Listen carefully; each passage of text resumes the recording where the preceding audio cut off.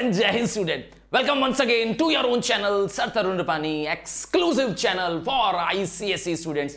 हाँ हम dedicated channel हैं सिर्फ़ और सिर्फ़ आईसीएससी का कंटेंट बनाते हैं और आपका ढेर सारा कमेंट्स ढेर सारा प्यार मिल रहा है और आपने यस कमेंट बॉक्स में लिख रखा है सर हाइड्रोजन चैप्टर कराइए और हाइड्रोजन है स्टडी ऑफ़ फ़र्स्ट एलिमेंट हाँ हमारे पीरियोडिक टेबल का पहला एलिमेंट जिसे हम स्टडी करने वाले हैं और कहीं मत जाइएगा, क्योंकि ये एक बहुत ही इंटरेस्टिंग और सिंपल चैप्टर है। आपके आगे के सारे कंसेप्ट्स इस चैप्टर से खुलेंगे।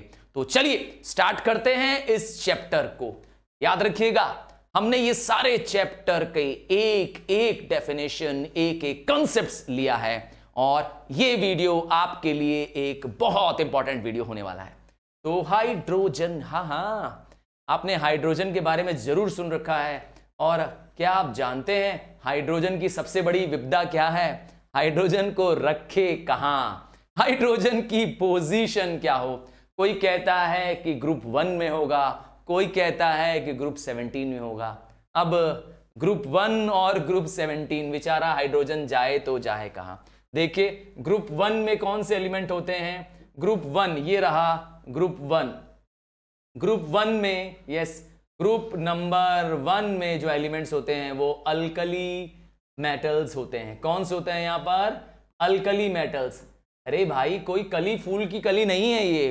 वो मेटल्स जो सॉलिबल बेसिस बनाते हैं, उन्हें कहते हैं हम अल्कली। हाँ कोई एग्ज़ाम्पल भी दे देता हूँ। लिथियम का एग्ज़ाम्पल ले लो, सोडियम का ले लो, पोटेशियम का ले लो। ये हैं अल्कली मेटल्स ग्रुप वन में। तो हाइड्रोजन को इस ग्रुप में रखा गया है। और कुछ लोग कहते हैं, ना ना, हाइड्रोजन का ये ग्रुप होना चाहिए। ग्रुप 17 ग्रुप 17 कौन है? ग्रुप 17 है हेलोजेंस का। हाँ भाई, हेलो मतलब सॉल्ट फॉर्मर्स इसमें कौन आता है? इसमें आता है आयोडीन ब्रोमीन हाँ इसमें ये गैसेस आती हैं जो एक्चुअली सॉल्ट फॉर्म करती हैं। तो प्रॉब्लम क्या है? हाइड्रोजन को कहाँ रखें? वैसे आपके टेबल में देखेंगे तो आपको फ़र्स्ट एलिमेंट मिलेगा। कहाँ पर? फ़र्स्ट एलिमेंट फ़र्स्ट टेबल में। जी, पहले ही ग्रुप में, पहले ही पीरियड में पहला ही एलिमेंट है हाइड्रोजन तो झगड़ा किस बात का है? तो झगड़ा शुरुआत कहाँ से हुई? झगड़ा शुरुआत हुई जब पहली बार एक टेबल आया। जी, पहली बार एक टेबल आया जो मेंडलीव ने लाया। मेंडलीव के पीरियोडिक टेबल क्या कहा? पीरियोडिक टेबल का कंसेप्ट क्लियर नहीं है। बस टाइप करो periodic table ICSC class ninth by sir Tarun Rupani. हाँ मेरे बनाए लेटेस्ट वीडियो आपको उसमें ज़रूर मिल जाएँगे। हाँ मैं आपके लिए ही एक्सक्लूसिव कंटेंट बना रहा हूँ। ये किसी सीबीएसई या एनसीईआरटी या और किसी का कंटेंट नहीं है। ये आपकी बुक से कंटेंट निकाला गया है और एक्सक्लूसिव कंटेंट है सिर्फ़ आप लोगों के लिए। तो मैंडलीव ने हाँ मैंडलीव ने पहला जो पीरियोडिक टेबल बनाया वो एटॉमिक मासेस के बेसिस में बनाया था। तो उसमें उन्होंने हाइड्रोजन को पहली पोजीशन पे रखा और वहीं से डिबेट शुरू, वहीं से झगड़ा शुरू। झगड़ा किस बात का? कि हाइड्रोजन की प्रॉपर्टी तो ग्रुप वन जैसी भी है, जो मैंने दिखाया, जिसमें अल्कली मेटल्स आते हैं हाइड्रोजन की प्रॉपर्टी तो सिमिलर टू ग्रुप 17 जैसी है। ग्रुप 17 मतलब हेलोजेंस के जैसी है। तो यही तो झगड़ा है, यही तो लड़ाई है कि हाइड्रोजन को रखे कहा? ग्रुप वन में रखें कि ग्रुप 17 में रखें? आपको ध्यान होना चाहिए कि मॉडर्न पीरियोडिक टेबल में 18 ग्रुप्स हैं। याद रखिएगा ग्रुप्स क्या होते हैं? वर्टिकल कॉलम्स होते हैं। लंबे लंबे यस वर्टिकल कॉलम होते हैं। और ग्रुप नंबर रिप्रेजेंट करता है वैलेंस शेल का नंबर ऑफ़ वैलेंस इलेक्ट्रॉन्स का। ठीक है? तो थॉमसन जी हाँ जो बाद में आए, उन्होंने कहा कि क्यों ना ऐसा किया जाए कि हाइड्रोजन की पोजीशन ही सबसे अलग कर दी जाए। क्या कर दिया जाए? हाइड्रोजन को top of the periodic table रख दिया जाए, बवाल ही खत्म। तो मॉडर्न टेबल जो रखा गया, उसमें उसकी सिमेट्री भी डिस्टर्ब नहीं होगी और जो ग्रुप वन है, उसमें हाइड्रोजन को अलग कर दिया। ग्रुप को, यस, ऐसे हाइड्रोजन को ऊपर कर दिया, ऐसे कर दिया और उसके नीचे कर दिया ग्रुप को। तो अलग कर दिया टॉप ऑफ़ द टेबल कर दिया, समस्या खत्म। आइए अब समझाते हैं कि प्रॉब्लम हुई क्यों। क्यों हाइड्रोजन को रखने की प्रॉब्लम पोजीशन की प्रॉब्लम क्यों आई? हाइड्रोजन को पीरियोडिक टेबल में कहाँ रखे? तो प्रॉब्लम इसलिए आई कि हाइड्रोजन और अल्कली मेटल्स हाँ मैंने बताया हाइड्रोजन ग्रुप वन में है अल्कली मेटल्स भी ग्रुप वन में है। दोनों का ग्रुप नंबर क्या है? ग्रुप वन अब ग्रुप वन में जो अल्कली मेटल्स है, उसमें सोडियम भी हो सकता है लिथियम भी हो सकता है पोटेशियम भी हो सकता है। तो क्या सिमिलरिटी है दोनों में? हाइड्रोजन का लास्ट शेल में देखो, कितने इलेक्ट्रॉन्स हैं? वन इलेक्ट्रॉन्स है। लिथियम में लास्ट शेल में देखो वन इलेक्ट्रॉन है।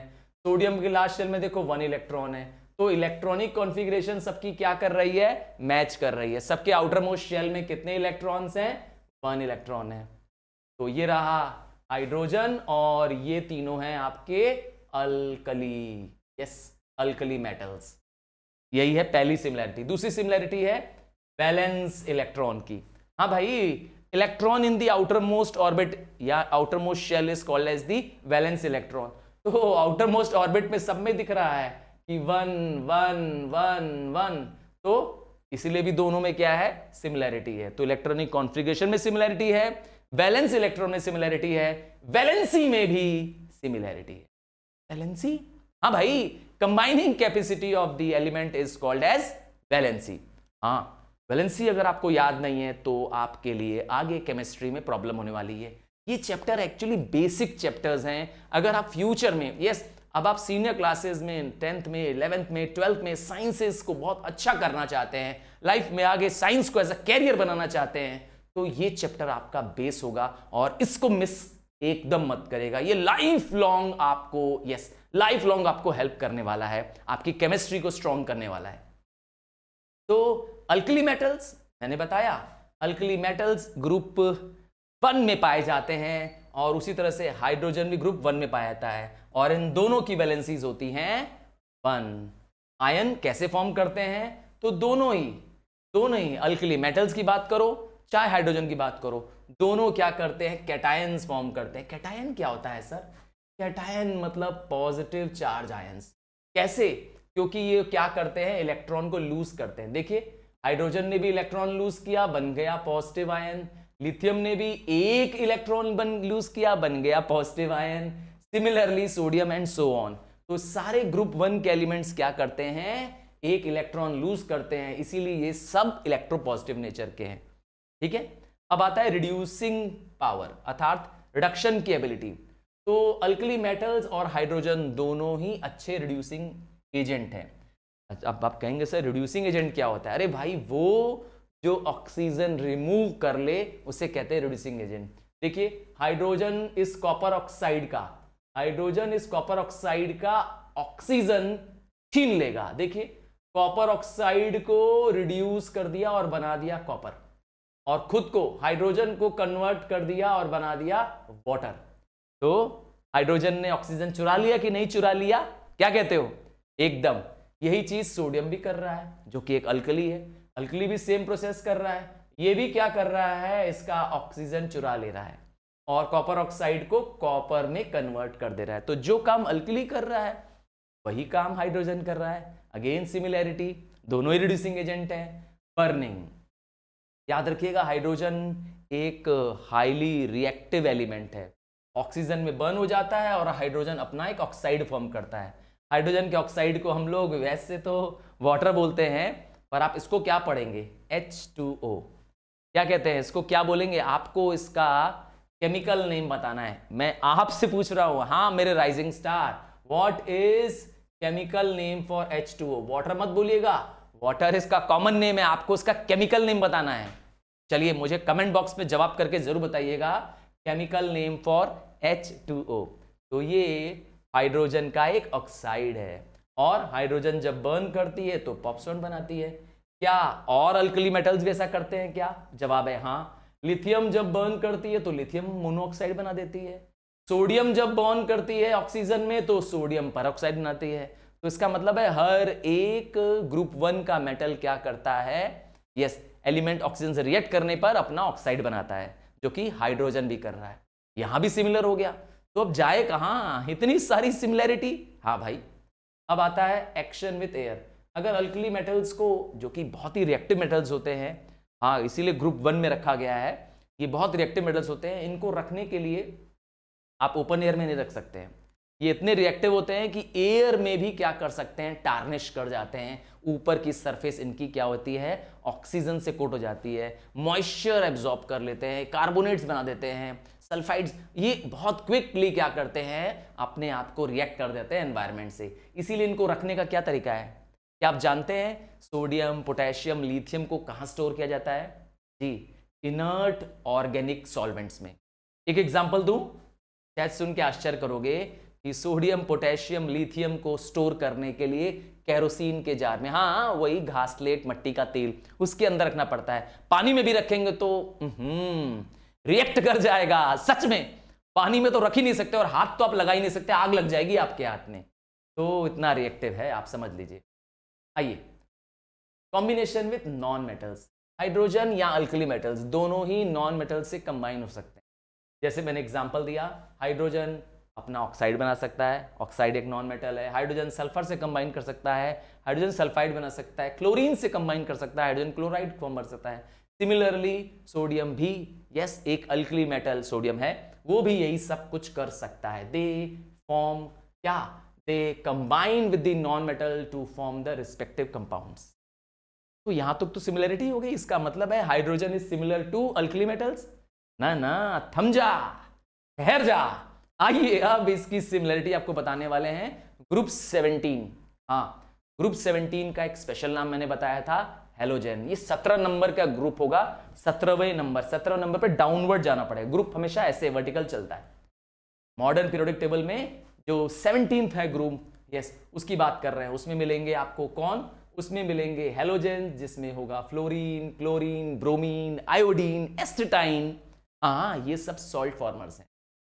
तो अब इनसे भी सिमिलरिटी है इसकी। तो अब अब आप अब आप चक्कर खा जाएँगे। हाँ अब आप आप आप परेशान हो जाएँगे, सर, ये इनसे भी सिमिलर है क्या? हाँ भाई सिमिलर है, मैं प्रूव करता हूँ। अब आइए इलेक्ट्रॉनिक कॉन्फ़िगरेशन पे देखते हैं।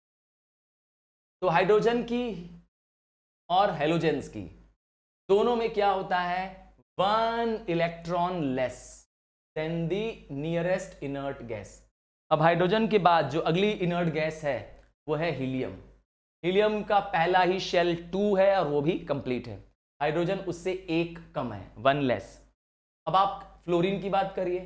फ्लोरीन ग्रुप नंबर 17 को बिलोंग करता है, मैंने बताया था। ग्रुप 17 जी हाँ ग्रुप 17 यहाँ पर है फ्लोरीन। यहाँ पे है क्लोरीन हाँ भाई, यहाँ पर है। ये लोग हैं ग्रुप 17 जिसको हम लोग हेलोजेंस कहते हैं।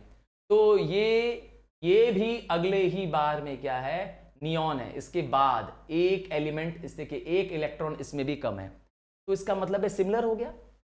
सिमिलरिटी क्या मिली? कि चाहे हेलोजन हो, चाहे हाइड्रोजन हो, दोनों में एक इलेक्ट्रॉन कम है अपनी अगली इनर्ट गैस से। देखिए, जैसे क्लोरीन की अगली इनर्ट गैस कौन है? आर्गन हो गया सिमिलरिटी फंस गए। हाँ ये दोनों की वैलेंसी क्या है? वन है। तो इनकी भी वैलेंसी क्या है? वन है। वन क्यों है? क्योंकि जब सेवन लिखा है तो लास्ट शेल में एक इलेक्ट्रॉन कम पड़ रहे हैं। तो एक इलेक्ट्रॉन मिल जाएगा तो फ्लोरीन क्या हो जाएगा? अपना ऑक्टेट कंप्लीट कर लेगा तो वैलेंसी वन हो गई। तो वैलेंसी हाइड्रोजन की भी वन है और इनकी इनकी भी वन है। अब आता है फॉर्मेशन ऑफ़ आयन अभी मैंने बताया, दोनों यस दोनों क्या कर सकते हैं? एक इलेक्ट्रॉन शॉर्ट है, एक इलेक्ट्रॉन कम है। तो both show a tendency to form anions अब एन आयंस क्या होते हैं? नेगेटिव चार्ज जी हाँ नेगेटिव आयंस ठीक है ना? इनमें खास बात क्या होती है? एक इलेक्ट्रॉन को और मिल जाए, एक इलेक्ट्रॉन अगर ये गेन कर लें, जी तो इनका क्या हो जाएगा? आउटर मोस्ट शेल ऑक्टेट या कंप्लीट हो चुका होगा. इनर्ट गैस के बराबर हो जाएगा. और क्या खास बात है? ये लोग इलेक्ट्रोनेगेटिव करेक्टर के हैं। हेलोजेंस भी इलेक्ट्रोनेगेटिव है हाइड्रोजन भी इलेक्ट्रोनेगेटिव है। क्यों भाई? क्योंकि ये लोग नॉन मेटल्स हैं। मेटल्स हमेशा क्या होते हैं? रिमेंबर कर लीजिए। मैं पूछूँगा इसके बाद। हाँ मैं आपसे वीडियो के बीच में पूछूँगा कि इलेक्ट्रोनेगेटिव एलिमेंट का या इलेक्ट्रो पॉजिटिव एलिमेंट का एग्ज़ाम्पल दो। तो मेटल्स याद रखिएगा इलेक्ट्रो पॉजिटिव होते हैं और नॉन मेटल्स तो ये नॉन मेटल्स के ग्रुप में है ग्रुप सेवनटीन इलेक्ट्रोनेगेटिव है। आइए, कुछ और पहचान है, कुछ और भी इनका सिमिलैरिटी है। सिमिलैरिटी है फ़िज़िकल स्टेट तो हेलोजेंस जैसे फ्लोरीन क्लोरीन वो भी गैस हैं तो हाइड्रोजन भी एक गैस है। गैशियस नेचर है इन सबका, ये भी सिमिलैरिटी है। आइए एटॉमिसिटी से पहचानते हैं। अब ये पूछेंगे एटॉमिसिटी क्या होती है? अरे भाई number of atoms required to make one molecule तो दो एटम के बिना हाइड्रोजन हाइड्रोजन गैस नहीं बन सकती। तो एटॉमिसिटी इसकी क्या है? टू है। तो हेलोजेंस की भी एटोमिसिटी क्या है? टू है।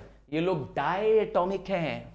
अर्थात दो एटम से मिलके बने hydrogen fluorine chlorine bromine iodine सब में देखिए I two H two F two C L two क्या साबित करता है? डायटोमिक दोनों में सिमिलैरिटी तो आ गए ना गच्चा। हो गए ना परेशान कि सर क्या करें? कहाँ रखें? क्या कहते हो? तो इसीलिए इसीलिए थॉमसन की बात मानो। थॉमसन ने सही कहा था कि इसको पीरियोडिक टेबल जो मॉडर्न वाला पीरियोडिक टेबल है, उसमें सबसे ऊपर रख दो। ग्रुप वन में ग्रुप वन को टच मत करो। ग्रुप वन के ऊपर देखो, ठीक है? ग्रुप वन के भी ऊपर रख दिया है। अब क्या डिफरेंस है इनका अल्कली के साथ और यस हेलोजेंस के साथ? तो इन दोनों से डिफरेंस भी है। डिफरेंस ये है कि हाइड्रोजन जो होता है यस हाइड्रोजन का जो एटम होता है, उसके पास सिर्फ़ एक शेल होती है। और वो है शेल नंबर वन वो भी इनकम्प्लीट पहली शेल भी कंप्लीट नहीं है, क्योंकि पहली शेल में मिनिमम दो इलेक्ट्रॉन होने चाहिए, उसके पास पहली शेल में भी सिर्फ़ एक इलेक्ट्रॉन है। दूसरा अल्कली मेटल्स की बात करो, चाहे हेलोजेंस की बात करो, इन सब में दो या दो से अधिक शेल है। लो, दोनों से डिफरेंट भी है। लो समस्या आ गई ना? दोनों से डिफरेंस है। और हाइड्रोजन का जब ऑक्साइड बन जाता है तो वो एक न्यूट्रल ऑक्साइड होता है। जबकि हेलोजेंस के ऑक्साइड एसिडिक इन नेचर होते हैं, आगे जाके एसिड फॉर्म कर देते हैं। जबकि अल्कलीज के ऑक्साइड्स ठीक है? अल्कलीज के ऑक्साइड बेसिक इन नेचर होते हैं, आगे जाके बेस बन जाते हैं। जैसे सोडियम ऑक्साइड जो है यस सोडियम पर ऑक्साइड जिसे कहते हैं, वो आगे जाके सोडियम हाइड्रोक्साइड बन जाएगा, जो कि एक बेसिक सब्सटेंस है अल्कली है। ठीक है? अब आते हैं, किसने खोजा, किसने बताया? तो डिस्कवरी हाइड्रोजन की हेनरी केवेंडिश के नाम पे जाती है। वैसे हेनरी केवेंडिश से पहले रॉबर्ट बॉयल ने इसे बना तो लिया था, पर उनका नाम नहीं है डिस्कवरर में। इसका नाम है? Henry Cavendish. और हेनरी केवेंडिश ने इसका नाम रखा था उस समय इनफ्लेमेबल। इनफ्लेमेबल मतलब जिसमें फ्लेम निकलती है, जिसमें आग निकलती है। क्यों? क्योंकि मैंने बताया, ये कंबस्टिबल गैस है। हाँ खुद जलने वाली गैस सपोर्टर ऑफ़ कंबशन नहीं है सपोर्टर ऑफ़ कंबशन ऑक्सीजन है। जलने में मदद करती है, ये नहीं कहा मैंने। जल जाती है, मैंने ये कहा। हाँ ये खुद जल जाती है। तो it is on the account of the ability to form water क्योंकि ये वाटर भी फॉर्म कर सकता है। लेवॉइजर ने इसका नाम, जी हाँ नाम जो इसका हाइड्रोजन है, वो लेवॉइजर नाम के एक साइंटिस्ट ने दी ठीक है? तो आज हम जो मॉडर्न नाम पढ़ रहे हैं हाइड्रोजन हम इनफ्लेमेबल गैस नहीं बोल रहे हैं हाइड्रोजन बोल रहे हैं। लेवोजर ने इसका नाम दिया था। तो कहाँ पाई जाती है हाइड्रोजन तो फ्री स्टेट में हाइड्रोजन अर्थ क्रस्ट में पाई जाती है एटमॉस्फेयर में पाई जाती है इवन वॉल्केनिक गैसेस के रूप में भी पाई जाती है। हमारे हमारे एटमॉस्फेयर में, हमारे एटमॉस्फेयर में पॉइंट ज़ीरो वन परसेंट बाप रे। वन भी नहीं पॉइंट ज़ीरो वन परसेंट है सिर्फ़। ध्यान दीजिएगा, बहुत बहुत बहुत कम है। वैसे अच्छा है, क्योंकि इतनी जहरीली गैस नहीं होनी चाहिए। पर आप सन की बात करेंगे या स्टार्स की बात करेंगे तो आप तो जानते ही हैं। Sun and star are made up of hydrogen मालूम है ना? वहाँ जो इतनी आग है सन में वो कहाँ से आई है? इस हाइड्रोजन की वजह से। हाइड्रोजन कंबाइंड स्टेट में भी बहुत पाया जाता है। हमारे जो आसपास प्लांट एनिमल टिश्यूज है इवन हमारी जो टिश्यूज हैं यस ये भी टिश्यूज किससे बनी हुई हैं? हाइड्रोजन कार्बन ऑक्सीजन नाइट्रोजन से बनी है। जी हाँ आपकी बॉडी टिश्यूज नहीं ध्यान था आपको ना? और हाइड्रोजन एक बहुत ही इंपॉर्टेंट करेक्टरिस्टिक्स एलिमेंट है सारे एसिड का। आप कोई भी एसिड का मुझे नाम लेके बताइए। सल्फ्यूरिक एसिड नाइट्रिक एसिड कोई एसिड नाम लो। तो सारे एसिड में आपको हाइड्रोजन ज़रूर मिलेगा। An acid is a compound which contains hydrogen तो है हाइड्रोजन हर एसिड में पाया जाएगा अल्कलीज में पाया जाएगा हाइड्रोकार्बन में इवन प्रोटीन में भी पाया जाएगा। और हमारे वाटर में, हमारे चारों तरफ़ आसपास जो पानी है, उसमें भी यस पानी का फॉर्मूला क्या था? H2O मिल गया ना हाइड्रोजन तो 11.1 परसेंट उसमें क्या है? हाइड्रोजन है। आइए हाइड्रोजन तो पता चल गया, कहाँ कहाँ पर है? पानी में है, एसिड में है, अल्कली में है। तो क्यों ना इन्हीं से बना लिया जाए? क्यों ना इसी में से ही हाइड्रोजन निकाल लिया जाए? हाँ भाई, निकाल सकते हैं, पानी से भी निकाल सकते हैं। पानी से निकालने का तो आसान तरीका है, आप क्या करिए इलेक्ट्रोलिसिस ऑफ़ वाटर कर दीजिए। वाटर में करंट पास कर दीजिए वाटर हाइड्रोजन भी दे देगा और ऑक्सीजन भी दे देगा। हाँ भाई, आसान तरीका है, पर हम आपको बताने वाले हैं अब अब एसिड का सॉरी मेटल का वाटर के साथ रिएक्शन करके हाइड्रोजन बनाने वाले हैं। हम जो रिएक्शंस करेंगे, सारे रिएक्शंस में क्या होगा? मेटल अबव हाइड्रोजन ध्यान से सुनिएगा। Metals above hydrogen in activity series react with water to form salt plus hydrogen ये है हमारा रिएक्शन बार बार अब ये रिएक्शन ध्यान दीजिएगा, मैं इसी रिएक्शंस पे अब फोकस करूँगा। क्या होगा? वो सारे मेटल्स जो रिएक्टिव मेटल्स हैं हाइड्रोजन के ऊपर हैं एक्टिविटी सीरीज़ में, उनका रिएक्शन कराएँगे पानी के साथ और निकलेगा सॉल्ट और निकलेगा हाइड्रोजन आइए स्टार्ट करते हैं। सबसे पहला है पोटेशियम थोड़ा कलर पे ध्यान दीजिएगा और रिएक्शन पे ध्यान दीजिएगा। रिएक्शन जितने मैं करा रहा हूँ, इसके अलावा कोई रिएक्शन तुम लोग मत करना। प्लीज़ प्लीज़ प्लीज़ मेरे राइजिंग स्टार मेरे सच्चे स्टार्स जो हैं यस ईमानदारी से डटे होंगे, मुझे पूरा यकीन है। और मैं आपके साथ ये पूरा चैप्टर वन शॉट में, जी हाँ दोबारा मेहनत नहीं करनी पड़ेगी। आपको वन शॉट में ये पूरा चैप्टर तुम्हें फिनिश करा दूँगा। इसीलिए डटे रहना मेरे साथ, ठीक है ना? और नोट करते जाओ इंपॉर्टेंट चीज़ जो मिलती जा रही है। क्या कहा? नोट्स की टेंशन है। नोट्स की टेंशन मत लेना, ये नोट्स मैं तुमको अवेलेबल करा दूँगा। आप अगर हमारे टेलीग्राम चैनल पे ज्वाइन कर चुके हैं याद रखिएगा, इस चैनल में कोई भी चीज़ का चार्ज हम आपसे नहीं ले रहे हैं। एब्सोल्युटली फ्री है। हर कुछ फ्री है। नोट्स फ्री है। लेसन वीडियोस फ्री है। लाइव सेशंस फ्री है। प्रीमियर चैट फ्री है। हाँ और बस सिर्फ़ आपका प्यार, आपका पूरा विश्वास मुझे चाहिए। ये सारे एक्सक्लूसिव कंटेंट आईसीएससी स्टूडेंट के लिए बनाए गए हैं। जी हाँ आपके लिए बनाए गए हैं। चलिए पोटेशियम से स्टार्ट करता हूँ। तो पोटेशियम को अगर पानी में ऐड करेंगे तो पोटेशियम अपने आप में एक हाईली रिएक्टिव मेटल है। सबसे रिएक्टिव मेटल है एक्टिविटी सीरीज़ में सबसे ऊपर है। तो जैसे ही पानी में ऐड करेंगे, क्या हो जाएगा? एक सिल्वर ग्रे एक ग्लोब्यूल बन जाएगा। एक सिल्वर ग्रे क्या बन जाएगा? दाना बन जाएगा ग्लोब्यूल बन जाएगा और पानी के ऊपर क्या करेगा? तेज़ी से डैश करने लगेगा। तेज़ी से zig zag zig zag zig zag move करने लगेगा। हाँ पकड़ नहीं पाएँगे इसको। ये बहुत ही तेज रिएक्शन होगा एक्सोथर्मिक रिएक्शन होगा, ये रहा वो रिएक्शन ये रहा potassium reacts with water to form potassium hydroxide and hydrogen निकल गई हाइड्रोजन गैस तो मैंने यही कहा था। मैंने यही कहा था कि मेटल को रिएक्ट कराएँगे वाटर से। क्या निकलेगा? ओ ओ सॉल्ट ना लिख करके मुझे लिखना चाहिए था। निकलेगा एक बेसिक यस बेसिक ऑक्साइड या हाइड्रो ऑक्साइड मैं दोनों लिख दे रहा हूँ, ऑक्साइड भी निकलेगा आगे जाकर के, या हाइड्रो ऑक्साइड निकलेगा, और प्लस निकलेगा hydrogen. Metal metal water produces basic oxide and hydrogen हाँ सॉल्ट नहीं प्लीज़ माइंडेड सॉल्ट नहीं करेंगे। ये रहा basic hydroxide potassium O H potassium hydroxide तो ये कौन से कलर की फ्लेम प्रोड्यूस करेगा?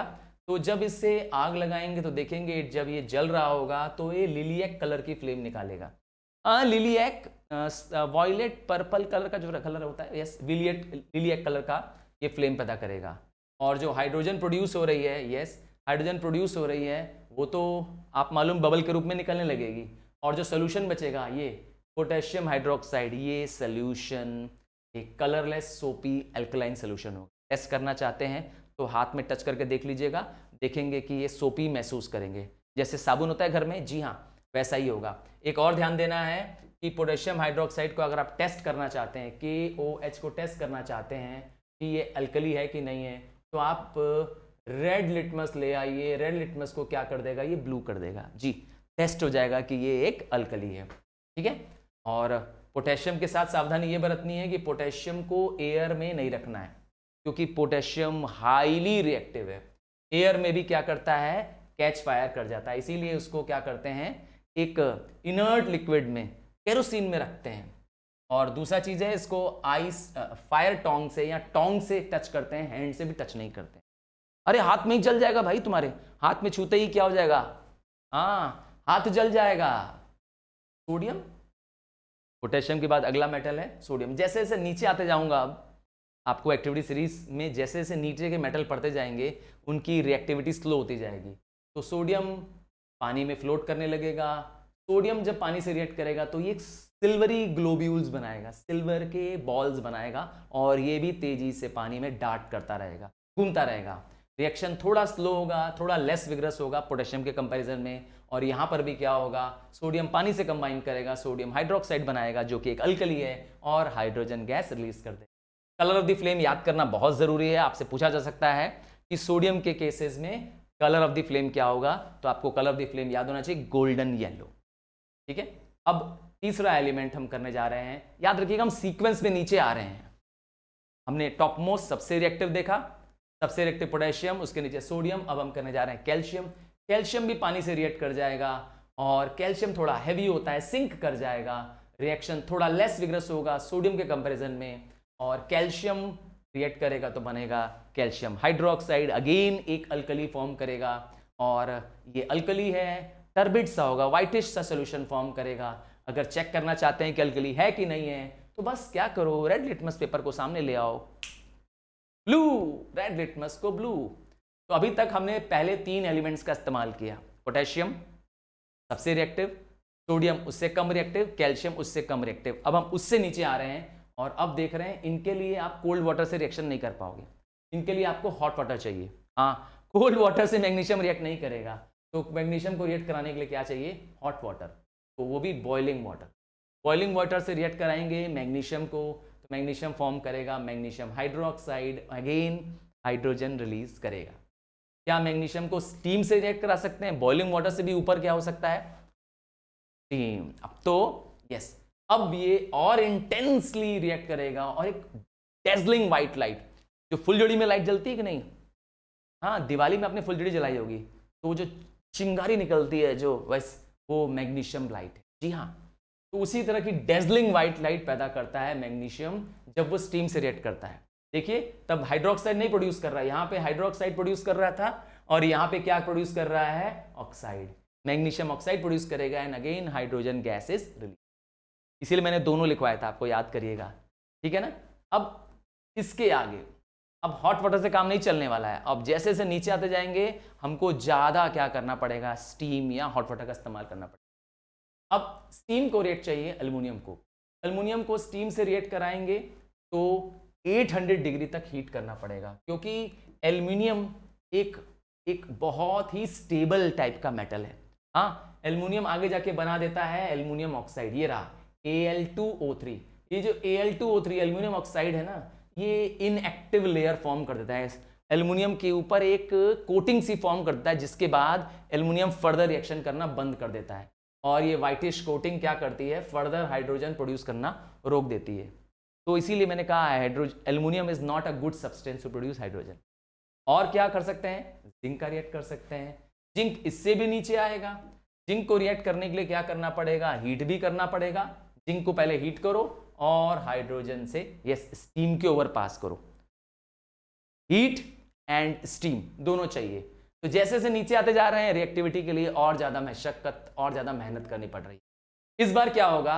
जो जिंक ऑक्साइड प्रोड्यूस हो रहा है, जिंक से जिंक ऑक्साइड प्रोड्यूस होगा हाइड्रोक्साइड नहीं निकलेगा, क्योंकि ये अल्कली नहीं है। तो हाइड्रोक्साइड नहीं निकलेगा, जिंक ऑक्साइड निकलेगा। और ये इसकी खास बात क्या होती है? जब इसको हीट करेंगे तो येल्लो रहेगा और जब ये कूल हो जाएगा तो व्हाइट तो yellow when hot and white on cooling ये जिंक ऑक्साइड की पहचान है।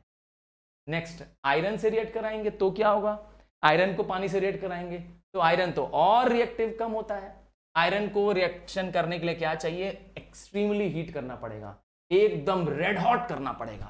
क्या एकदम गरम दम लावा की तरह आयरन को पिघलाना पड़ेगा रेड हॉट करना पड़ेगा और साथ में पानी से रिएक्ट नहीं कराना है स्टीम से रिएक्ट करना है।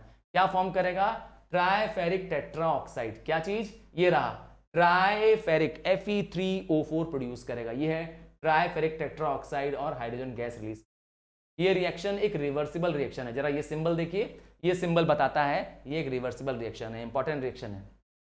तो यहाँ पर भी क्या दिखाना चाहते हैं कि जैसे जैसे नीचे आते जा रहे हैं रिएक्टिविटी विथ वाटर के साथ कम होती जा रही है। ठीक है? और पानी अब कोल्ड वाटर के बजाय हॉट वाटर से हॉट वाटर के बजाय बॉइलिंग वाटर से बॉइलिंग वाटर बजाय के वजह से स्टीम से रिएक्ट करने की यस कोशिश कर रहे हैं। और उसके बाद अगर कोशिश करेंगे, और जो elements below the activity series है, उसके बाद क्या होगा? तब कुछ नहीं होगा। बिलो दी एक्टिविटीज़ हाइड्रोजन चले जाएँगे एक्टिविटी सीरीज़ में तो उनको वाटर से रिएक्ट कराएँगे तो कुछ नहीं होगा। सोचिए, आपके पास जो गोल्ड रिंग है हाँ जो कान में जो गोल्ड की हम लोग, इस, जो पहन लेते हैं हाँ ईयर रिंग पहन लेते हैं क्या कहते हैं? क्यों पहनते हैं गोल्ड की, सिल्वर की? क्योंकि हमको मालूम है वो नोबल मेटल्स हैं, पानी से रिएक्ट नहीं करेंगे। पानी में हाथ चला जाए, आप कितनी बार जाता ही होगा पानी में, जब आप यूज़ कर रहे हैं तो आपके बॉडी में रिएक्शन नहीं कर रहा है। तो हाइड्रोजन को एक्टिविटी सीरीज़ में रखा गया है और एलिमेंट्स जो कि मेटल को अरेंज करें, उनके डिक्रीजिंग ऑर्डर में उस अरेंजमेंट को कहते हैं एक्टिविटी सीरीज़ या रिएक्टिविटी सीरीज़ स्क्रीन पे आप देखेंगे सबसे टॉप में आपको दिखाई देगा, पोटेशियम सबसे बॉटम में दिखाई देगा आपको गोल्ड। तो सबसे रिएक्टिव सबसे लीस्ट रिएक्टिव और यहाँ पे आपको दिखाई दे रहा होगा यस कॉपर के ऊपर। कहाँ दिखाई दे रहा है भाई? वहाँ तो है ही नहीं। अभी दिखाई देगा, यहाँ पर। यहाँ पर होगा हाइड्रोजन तो हाइड्रोजन के जितने ऊपर एलिमेंट्स हैं, ये हाइड्रोजन रिलीज़ करेंगे। हाइड्रोजन के जितने नीचे एलिमेंट हैं, ये वाले एलिमेंट्स ये हाइड्रोजन रिलीज़ नहीं करेंगे। With water and with dilute acid नहीं नहीं नहीं करेंगे।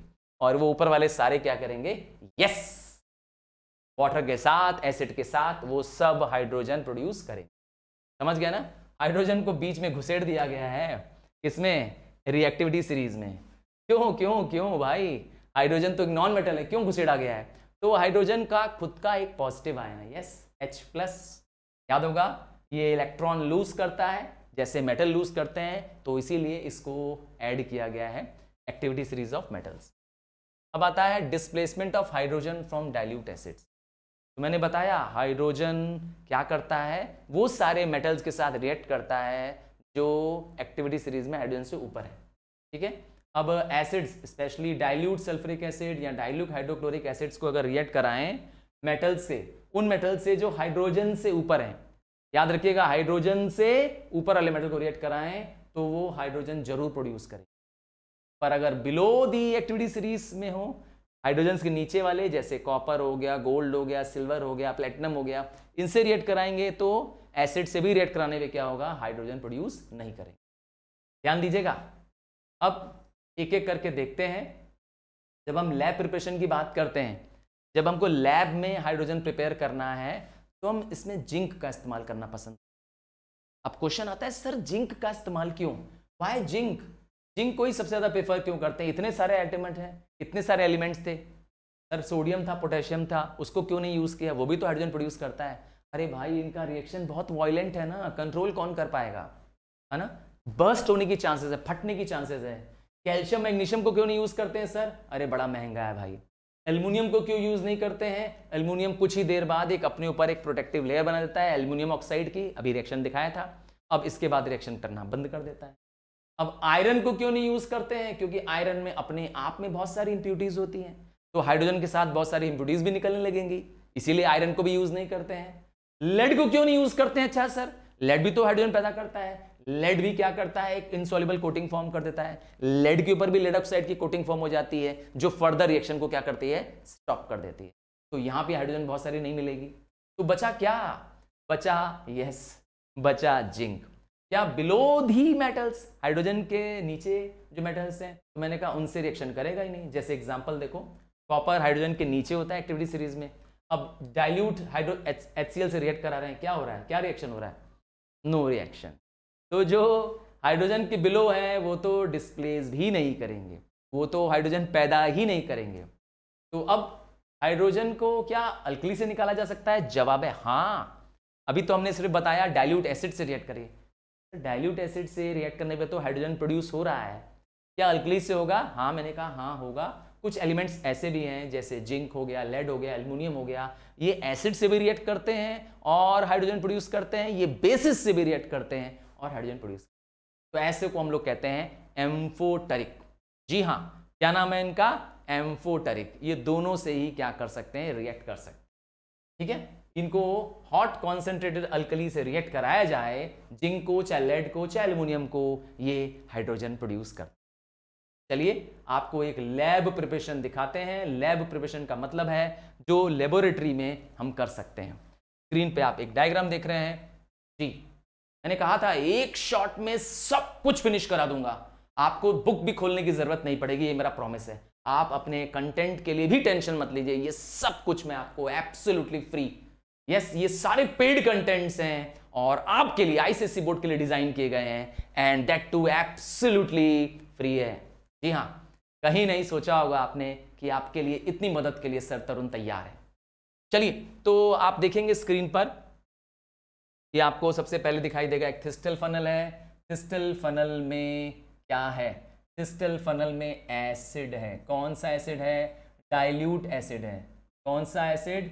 Dilute acid. अब डाइल्यूट हाइड्रोक्लोरिक एसिड ले सकते हैं, डाइल्यूट सल्फ्रिक एसिड ले सकते हैं।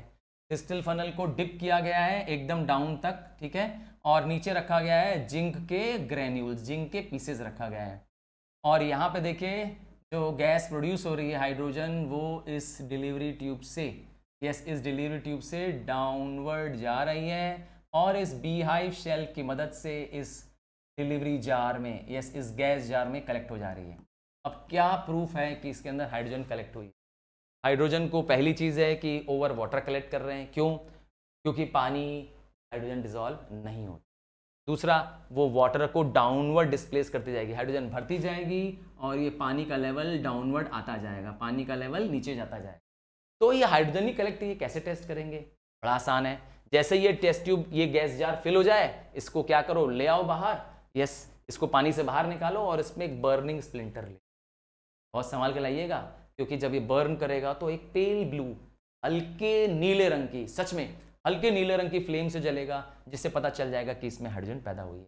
और एक और खास बात है, एक पप पप पप पप यहाँ पट पट पट पट की आवाज़ निकलेगी, जो कि हाइड्रोजन की पहचान है। जी। तो क्या करना है? आइए एक बार फिर से देखते हैं। ग्रेन्यूल जिंक लेना है। यस जिंक का ग्रेन्यूल रूप लेना है और साथ में लाए डाइल्यूट एसिड क्या करेंगे? इसको डिप कर देंगे। रिएक्शन कुछ इस तरीके से होगा। आइए। रिएक्शन कुछ इस तरीके होगा। जिंक अगर एच एसिड रिएक्ट कर रहा है तो जिंक क्लोराइड फॉर्म करेगा और हाइड्रोजन गैस रिलीज़ करेगा। अगर आपने एच गैस नहीं एसिड नहीं लिया है, आपने सल्फ्रिक एसिड लिया है तो जिंक सल्फेट फॉर्म करेगा और हाइड्रोजन गैस रिलीज़ अब क्वेश्चन आ रहा है, सर, जिंक ग्रेन्यूल ही क्यों, सर? जिंक के पीसेस क्यों नहीं ले रहे हैं? तो ग्रेन्यूल्स में अपने आप में जो इम्प्योरिटीज होती हैं, वो प्योर जिंक से ज़्यादा फ़ायदेमंद होती है। क्योंकि जो इसकी इम्प्योरिटीज होती हैं जिंक की ग्रेन्यूल्स की, वो कॉपर की इंप्योरिटीज होती हैं। और इस कॉपर की वजह से इम्प्योर जिंक की वजह से क्या होता है? ये कैटलिस्ट का काम करता है, अर्थात इसका रिएक्शन और तेज हो जाता है। तो इसका मतलब है ग्रेन्यूल जिंक बहुत फ़ायदा पहुँचा रहा है रिएक्शन फास्ट भी हो जा रहा है। और हाइड्रोजन जो कलेक्ट हो रही है, वो डाउनवर्ड डिस्प्लेसमेंट ऑफ़ वाटर से कलेक्ट हो रही है। अगेन मैंने कहा हाइड्रोजन को ओवर द एयर मत कलेक्ट करना। क्यों? अगर open the air over the air collect करोगे तो हाइड्रोजन और एयर का मिक्सचर एक एक्सप्लोजिव मिक्सचर हो। इसका मतलब है तब हाइड्रोजन के साथ अगर क्या करेंगे आप? यस मैच स्टिक दिखाएँगे बर्निंग स्पिंटर लाएँगे तो एक्सप्लोजन हो सकता है। तो हाइड्रोजन क्या ये जो पैदा हुई है, क्या ये तुरंत यूज़ करने लायक है? जवाब है नहीं। क्योंकि इसी हाइड्रोजन में अभी ढेर सारी इंप्यूटीज हैं। हाइड्रोजन में hydrogen sulphide sulphur dioxide oxides of nitrogen इतनी सारी इंप्यूटीज हैं। तो कोई चिंता नहीं है, इन सब के लिए सोल्यूशन हमारे पास है। इसको सिल्वर नाइट्रेट से रिएक्ट करा देंगे। सिल्वर नाइट्रेट क्या करेगा? आरसाइन और फॉस्फाइन रिमूव कर देगा। लेड नाइट्रेट से रिएक्ट करा देंगे। लेड नाइट्रेट इसका हाइड्रोजन सल्फाइड रिमूव कर देगा। कॉस्टिक पोटेश से रिएक्ट करा देंगे। देखा? एक एक बीमारी बताओगे, सौ इलाज बताऊँगा। तो पोटेश कॉस्टिक पोटेश से रिएक्ट करा देंगे। सल्फ़र डाइऑक्साइड कार्बन डाइऑक्साइड और ऑक्साइड्स ऑफ़ नाइट्रोजन भी। इन सबको, सारे इंप्रोड्यूस को रिमूव करने के लिए एक एक मेरे पास केमिकल मौजूद हैं। है ना? तर्कश में मेरे बहुत सारे तीर हैं। क्या कहते हो? एक प्रॉब्लम और अनेक सोल्यूशन तो अभी खत्म नहीं हुआ है। अब जो हाइड्रोजन है वो ड्राई है कि नहीं है? तो एक ड्राई करने के लिए ड्राइंग एजेंट का ड्राइंग एजेंट के रूप में किसको यूज़ कर सकते हैं? कैल्शियम क्लोराइड को यूज़ कर सकते हैं। और किसको यूज़ कर सकते हैं? कॉस्टिक पोटैश को यूज़ कर सकते हैं। फॉस्फोरस को यूज़ कर सकते हैं। अब क्वेश्चन आता है सल्फ्यूरिक एसिड को सर क्यों नहीं यूज़ करते हैं? ये भी तो एक बहुत अच्छा ड्राइंग एजेंट है। और सल्फ्यूरिक एसिड ड्राइंग एजेंट के साथ साथ क्या करता है? हाइड्रोजन के साथ रिएक्ट कर जाए और हमारा पर्पस काम नहीं करेगा। ठीक है ना? तो क्या प्रिकॉशन करना चाहिए इस एक्सपेरिमेंट में? प्रिकॉशन ये देना चाहिए कि हाइड्रोजन और ऑक्सीजन आपस में मिक्स ना हो पाए। जो हाइड्रोजन प्रोड्यूस हो रही है, वो लीक ना हो जाए। क्योंकि हाइड्रोजन ऑक्सीजन एक जहरीला, एक एक्सप्लोजिव यस डेंजरस मिक्सचर बन जाएगा और एक बड़ा सा धमाका हो सकता है। इसीलिए बहुत ध्यान देना है। एपरेटस सारे एयर टाइट होने चाहिए, कोई लीकेज नहीं होना चाहिए। कोई फ्लेम यस कोई फ्लेम नियर द अपरेटस नहीं होनी चाहिए, क्योंकि हाइड्रोजन पैदा हो रहा है। दूसरा, जो गैस कलेक्ट होनी चाहिए, वो कुछ देर बाद कलेक्ट हो थोड़ी गैस रिमूव हो जाने के बाद। हाँ ताकि आपको प्योर हाइड्रोजन मिल सके। ठीक है? और लास्ट में, जो थिस्टन फनल का जो एंड था, जो नीचे वाला पार्ट था dip of the thistle funnel वो कहाँ होना चाहिए? अंडर द एसिड होना ताकि गैसेस क्या हो? एस्केप होने का रास्ता निकल जाए। ठीक है? अब टेस्ट मैंने पहले ही कर दिया है। हाइड्रोजन एक कंबस्टिबल गैस है, खुद जल जाती है और हाइड्रोजन साइलेंटली एयर में बर्न करती है और हल्का yes pale blue flame produce करती है और साथ में प्रोड्यूस करती है वाटर चलने पे हाइड्रोजन ऑक्सीजन के साथ पानी पैदा करती है। हाँ। इसीलिए मैंने कहा ना, आजकल हाइड्रोजन कार आ रही है। आपको पता है कि नहीं है? सच में मैं कह रहा हूँ हाइड्रोजन सेल से बनी कार आ रही है। हाइड्रोजन फ्यूल सेल से। अब ये कार कोई भी धुआँ नहीं प्रोड्यूस करेगी, जो हाइड्रोजन निकलेगा भी, वो ऑक्सीजन से कंबाइन होकर के वाटर बन जाएगा। तो इसमें कोई भी हार्मफुल केमिकल नहीं है, सच में। अब आता है, अगर मुझे हाइड्रोजन को बड़े क्वांटिटी में चाहिए, अरे भाई, मुझे एक हज़ार लीटर हाइड्रोजन चाहिए तो लैब प्रिपरेशन से मिलेगा क्या? जवाब है नहीं। तो अब मुझे बड़े स्केल पे लार्ज स्केल पे हाइड्रोजन चाहिए, किसी मुझे इंडस्ट्रियल प्रोडक्शन में काम लेना है, बहुत बड़ी क्वांटिटी में इसका कहीं इस्तेमाल करना है। तो आ जाओ, हम बनाते हैं हाइड्रोजन तो जब मैन्युफैक्चर करेंगे तो लार्ज स्केल में। इस प्रोसेस का नाम है वॉश प्रोसेस तो पहला स्टेप क्या है इसमें? सबसे पहला स्टेप है इसमें कि हम स्टीम को रिएक्ट कराएँगे। स्टीम को रिएक्ट कराएँगे कोक से। कोक मतलब कार्बन से रिएक्ट जिस फर्नेस में रिएक्ट कराएँगे, वहाँ पे टेम्परेचर 1000 डिग्री तक रहीस करेंगे। और उसका नाम है कन्वर्टर जिस जगह, जिस एक स्पेशली डिज़ाइन फर्नेस में कहते हैं, उसे कन्वर्टर ये रिएक्शन आपको वेरी इंपॉर्टेंट है, आना चाहिए। क्या रिएक्शन है? ये रहा कोक और ये रहा स्टीम याद रखिएगा स्टीम है ये रेड हॉट स्टीम है और ये 1000 डिग्री तक क्या क्या हीट किया गया है प्रोड्यूस कर रहा है दो ही गैस एक साथ दो गैस बदल रही है, वो भी इक्वल वॉल्यूम में।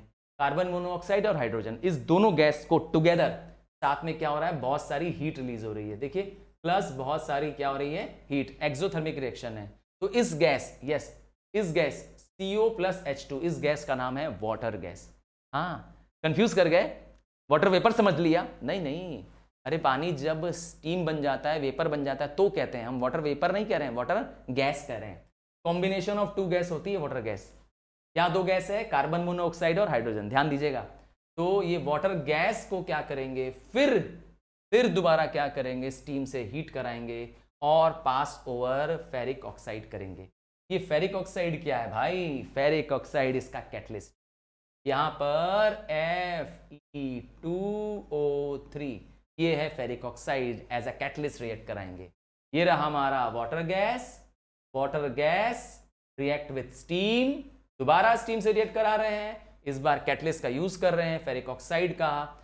And chromic oxide C R two O three as a promoter sir, ये क्या है? प्रमोटर क्या होता है, sir? C R two O three ये क्या होता है? प्रमोटर क्या होता है? प्रमोटर वो होता है जो कैटलिस्ट की भी एफिशिएंसी को इंप्रूव करता है। कैटलिस्ट तो एक ऐसा केमिकल होता है जो speed up the chemical reaction करता है। रिएक्शंस को तेज करता है और itself is not use up जितना था, उतना ही रह जाता है केमिकल में। वो तो हो गया फेरिक ऑक्साइड ठीक है? पर ये प्रमोटर क्या होता है? प्रमोटर इस कैटलिस्ट की भी एफिशिएंसी को इंप्रूव कर देता है, ठीक है? तो प्रमोटर है कौन? क्रोमिक ऑक्साइड और क्या प्रोड्यूस हो रहा है? देखिए, दो गैसेस फिर से प्रोड्यूस हो रही हैं कार्बन डाइऑक्साइड एंड हाइड्रोजन और हमें क्या चाहिए? हाइड्रोजन तो अगेन ये खूब सारी हीट पैदा करेगा, ये एक्सोथर्मिक रिएक्शन है, हमें कार्बन डाइऑक्साइड नहीं चाहिए। हमें चाहिए हाइड्रोजन आओ, कैसे निकालेंगे? अब हाइड्रोजन निकालने का दो तरीका है। या तो इस मिक्सचर को क्या करो? कोल्ड वाटर से पास कर दो 30 एटमॉस्फेयर पे। ठीक है? इस हाई एटमॉस्फेयर पे पास करने से हाई प्रेशर से पास करने पे कार्बन डाइऑक्साइड डिजोल्व हो जाएगी और बचेगा कौन? हाइड्रोजन हो गया सेपरेट क्या एक ही मेथड है सर नहीं नहीं, जाओ मत भाई। एक और मेथड है। एक और मेथड है। इस कार्बन डाइऑक्साइड को रिमूव करने का एक और मेथड है। कार्बन डाइऑक्साइड को निकालने के लिए कॉस्टिक पोटैश से पास कर दो। के ओ एच कॉस्टिक पोटैश होता है K O H that is caustic potash ये क्या करता है? ये एब्जॉर्ब कर लेता है कार्बन डाइऑक्साइड ये रहा।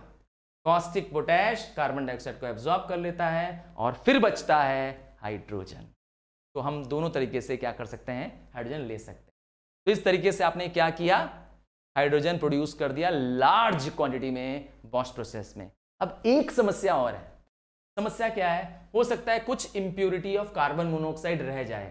क्योंकि आपको याद होगा वाटर गैस बनी थी। याद है ना, सबसे पहले रिएक्शन में क्या प्रोड्यूस हुआ था? सीओ प्लस एच टू और सीओ मतलब कार्बन मोनोऑक्साइड कहीं वो बच गई हो तो?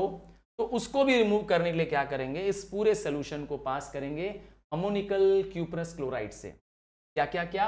अमोनिकल क्यूप्लस क्लोराइड से जैसे ही पास करेंगे तो इसके अंदर जो कार्बन मोनोऑक्साइड होगी, वो इसमें डिजोल्व हो जाए ये अनकम्बाइंड कार्बन मोनोऑक्साइड है। जो इसके अंदर ही क्या हो गई है? देखिए एब्जॉर्ब हो गई है। नतीजा, अब सब कुछ रिमूव और बचा एकमात्र एक चीज़, वो है हाइड्रोजन हाइड्रोजन हाइड्रोजन देखा बल्क में बना लिया आपके लिए हमने हाइड्रोजन क्या? हाइड्रोजन खत्म नहीं। आइए, कुछ केमिकल प्रॉपर्टीज़ सर ये केमिकल प्रॉपर्टीज़ क्या होती है? जब कोई केमिकल ऐड कर दो उसके अंदर। हाँ और उसके अंदर क्या चेंजेस आ रहे हैं ऐड करने से? तो ऐसी प्रॉपर्टीज़ को जानने को कहते हैं केमिकल प्रॉपर्टीज़ तो जब भी हम केमिकल प्रॉपर्टीज़ की बात करते हैं तो उनके केमिकल कॉन्स्टिट्यूएंट्स के बारे में समझते हैं। जैसे हाइड्रोजन एक बहुत ही रिएक्टिव एलिमेंट है। नॉन मेटल से भी रिएक्ट कर सकता है मेटल से भी रिएक्ट कर सकता है ऑर्गेनिक कंपाउंड से। अरे, बहुत बहुत बहुत रिएक्टिव है। आओ एक एक करके जाने। Hydrogen reaction with metallic oxide तो हाइड्रोजन गैस क्या कर सकती है? एक स्ट्रॉन्ग रिड्यूसिंग एजेंट है। याद है अल्कली मेटल की तरह?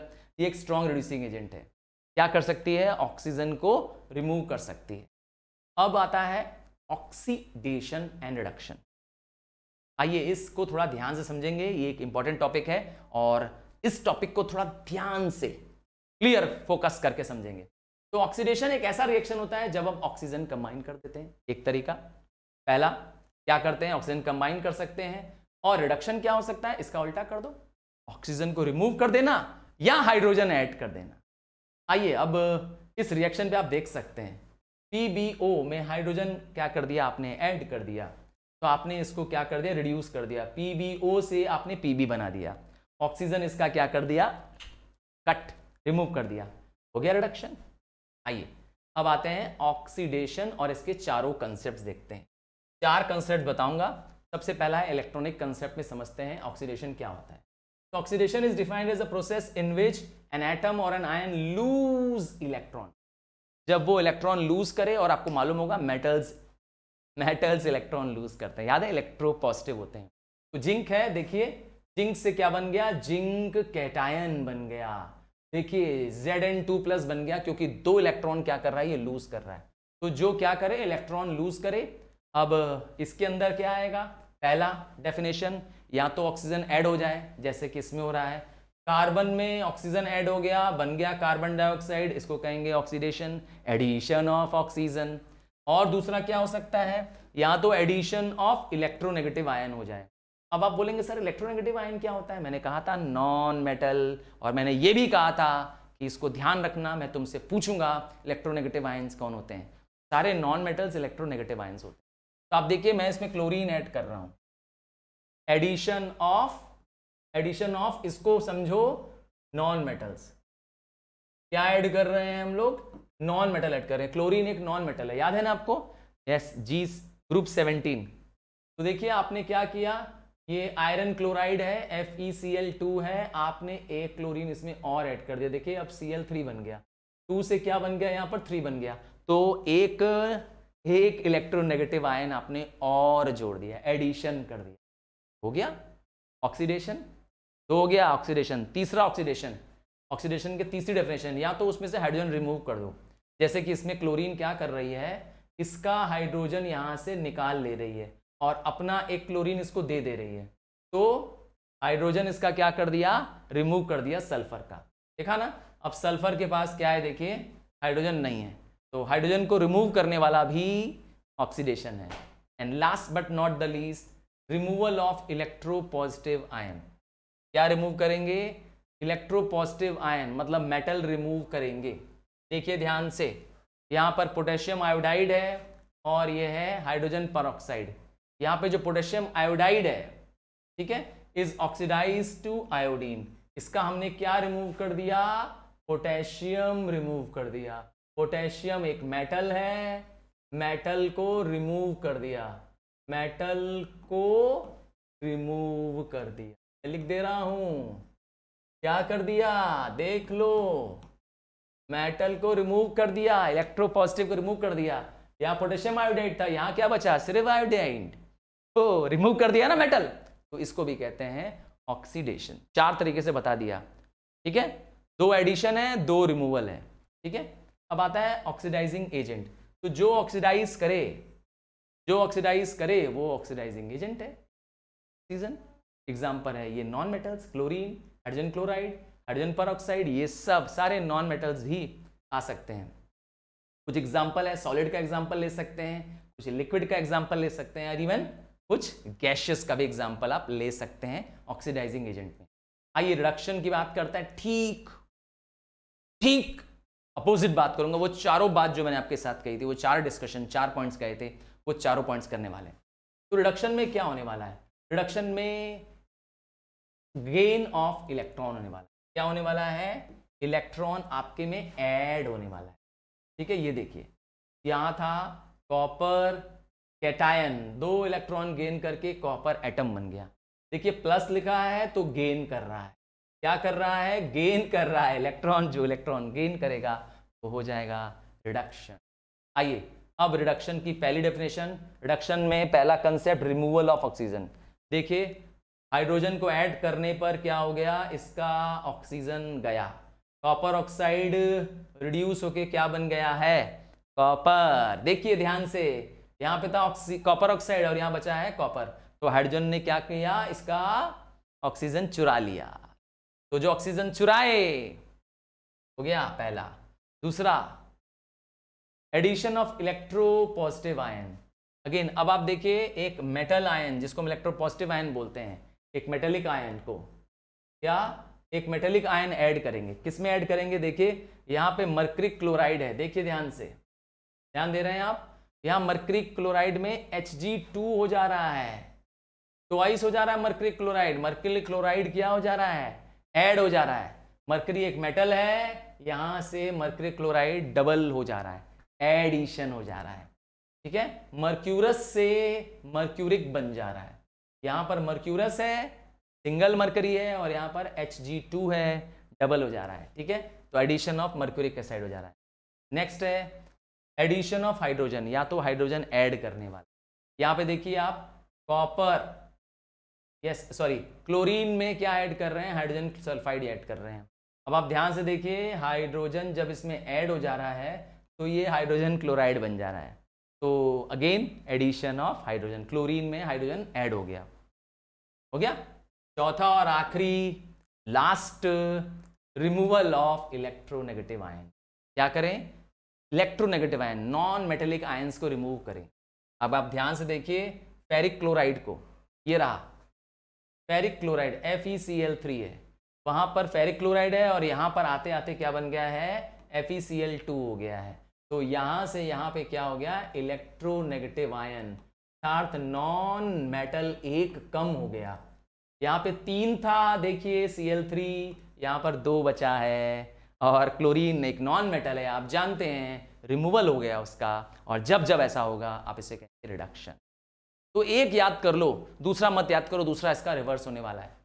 तो आइए रिड्यूसिंग एजेंट के बारे में जाने। तो जो भी ये रिडक्शन का काम करते हैं यस जैसे हाइड्रोजन सल्फाइड कर रहा था अमोनिया कर रहा था हाइड्रोजन खुद कर रहा है तो ये सब हो सकते हैं। क्या ये भी सॉलिड लिक्विड गैस हो सकते हैं? मेरा जवाब है हाँ। एक एक कर लो याद सॉलिड में कार्बन लिक्विड में हाइड्रोजन पर और गैशियस में खुद हाइड्रोजन सल्फाइड आइए, अब एक ऐसा रिएक्शन जो दोनों एक साथ शो करेंगे।